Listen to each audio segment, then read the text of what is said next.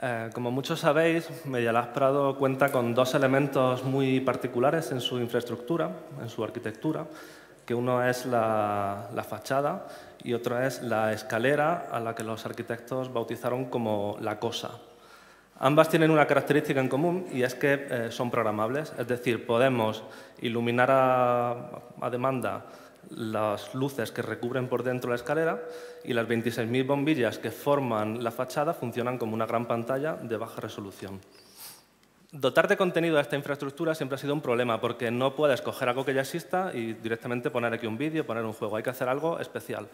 Y en Media Lab siempre se ha intentado pues, eh, poner su filosofía al servicio de esto, es decir, que abrir las dos eh, infraestructuras lo máximo posible para que mucha gente pueda utilizarlo. Y en todos estos años pues, se han hecho un montón de, talleres, se ha generado software para poder programarlos, eh, se, han hecho, se han hecho videojuegos y lo que vengo a contaros es lo que se ha hecho este año, que es el taller de juegos reunidos. Juegos Reunidos es una convocatoria al estilo de las convocatorias de Media Lab, una convocatoria en la cual eh, solicitábamos proyectos para desarrollarlos con el hilo conductor de eh, jugar juntos. Em, entonces se seleccionaron tres proyectos, después se seleccionaron, eh, se seleccionaron los participantes y los colaboradores de estos proyectos.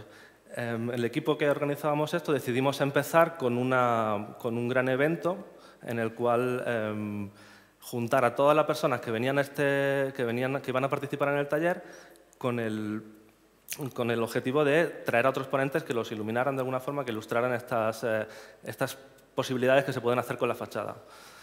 Em, por ejemplo, trajimos a, a Mónica Richis, que es una, es una artista que trabaja en Barcelona con, con videojuegos que utilizan todo el cuerpo a Zuraida Batter, que es una curator de contenidos eh, holandesa, que trabaja también en el tema de videojuegos más o menos innovadores, y Gamera Nest, que es un estudio de desarrollo de videojuegos que utilizan metodologías participativas y que son de aquí de Madrid y que además han acompañado a los proyectos durante todo el año.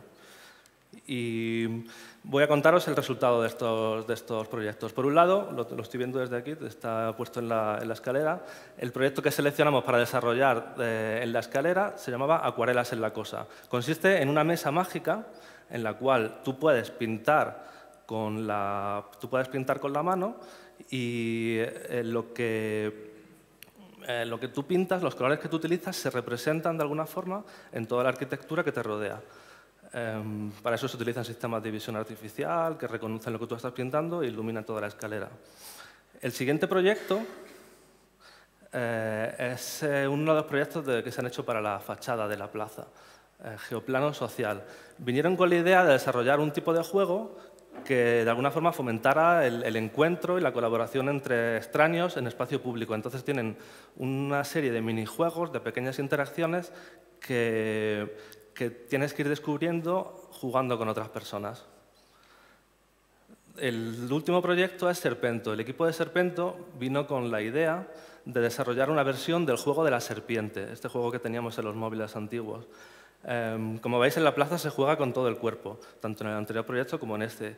Y, lo que hicieron fue desarrollar algo participativo, en el sentido de que eh, la gente pudiera, eh, de alguna forma, colaborar para, para, ganar en lugar de tener que competir. Entonces hay un equipo en el que tienen que conseguir el máximo número de puntos posible eh, y luego sigue, después juega el otro equipo. Entonces, como veis, juega todo el mundo con, la, con eh, un dispositivo que se inventaron que es como una especie de, bombillita, que es lo que permite que, que, el sistema siga los movimientos.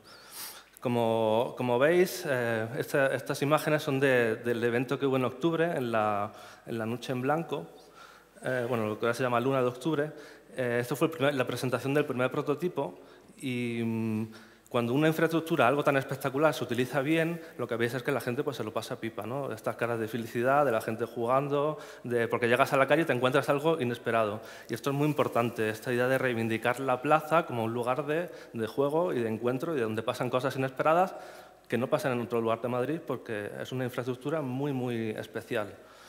Em, y además de esta idea de, jugar juntos, también la idea de, crear juntos. Es decir, es lo que ocurre en este lugar. La gente viene y, se trabaja en equipo, se trabaja creando ideas que muchas veces van más allá de lo práctico, más allá de lo, de lo inmediato, con el objetivo pues, de, innovar, de, crear cosas nuevas y, y, también por el camino de establecer relaciones personales, profesionales, que es lo que suele pasar mucho en estos, en estos talleres.